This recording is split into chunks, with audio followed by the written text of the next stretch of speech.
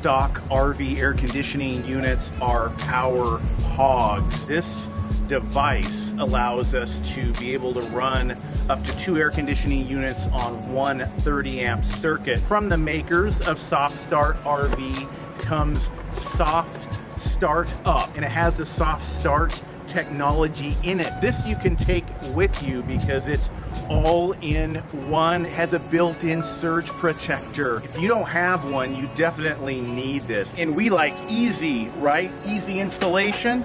Here we go. Plug it right into the power pedestal. Bam. And the other cool thing about this is there is an app for your iPhone or Android where you can monitor what's going on with this and also see what your power draw is. This is going to be awesome.